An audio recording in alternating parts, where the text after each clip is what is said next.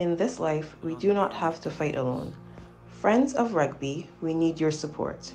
On Saturday the 30th of December from 7.30 a.m. on the Garrison Savannah, the Barbados Rugby Vets will be hosting a $20 Christmas breakfast benefit, run and fun morning to help raise funds to offset the cost for one of our own bravely battling cancer.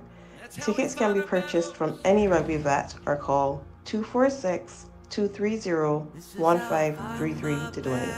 This is how we fight our battles together.